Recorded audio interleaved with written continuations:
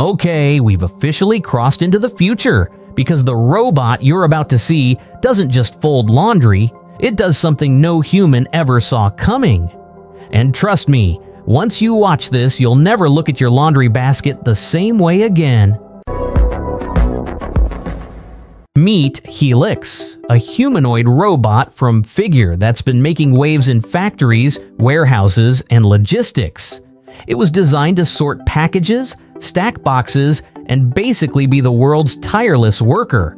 But now, they've turned this industrial powerhouse loose on the most boring household chore on earth folding laundry. And here's the twist Helix didn't get a new brain or a fancy new program. Nope. The same system that was shifting boxes in a warehouse is now folding towels in your living room perfectly. At first, it sounds simple, right? Pick up a towel, fold it in half. Done. But here's the thing towels are a nightmare for robots. They flop, they wrinkle, they twist, and there's no clear shape to grab. One wrong pinch and it turns into a tangled mess. Helix? It doesn't freak out. It scans the pile, picks one towel. Even if it accidentally grabs two, it politely puts the extra one back and then traces the edges with its fingers like it's playing a delicate instrument. Smooths it flat, pinches the corners, folds it into a perfect square every single time. Here's what makes this insane. Helix is running end to end. That means it sees the towel, understands the instruction, fold this, and moves its hands all in one seamless thought process. No separate programs for vision, planning, and movement.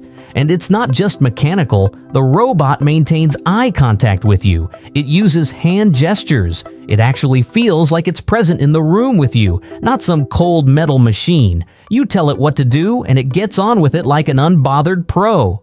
But here's the part that made my jaw drop. While folding, Helix adapts on the fly. Every towel is different. Some are small, some are thick, some are basically just sad, wrinkled fabric disasters. Helix changes its folding strategy mid-task, and it's not hard-coded. It learned this from data. Just a new training set, no redesign, no extra hardware. Think about that. Yesterday, this robot was stacking boxes. Today, it's folding laundry. Tomorrow, it could be setting your dinner table or packing your suitcase. This isn't just about laundry. It's a glimpse at a future where robots can jump between completely different jobs just by learning new data. No tool swaps, no reprogramming.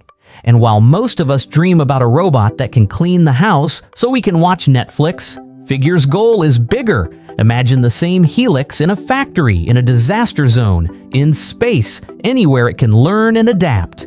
This is just the warm up act. So, yeah, laundry might not be the most glamorous test, but the fact that a robot can do it this well, that's history in the making. If Helix can nail the towels, what's next? Cooking, babysitting, running your errands? Whatever it is, I've got a feeling the future's about to get very interesting.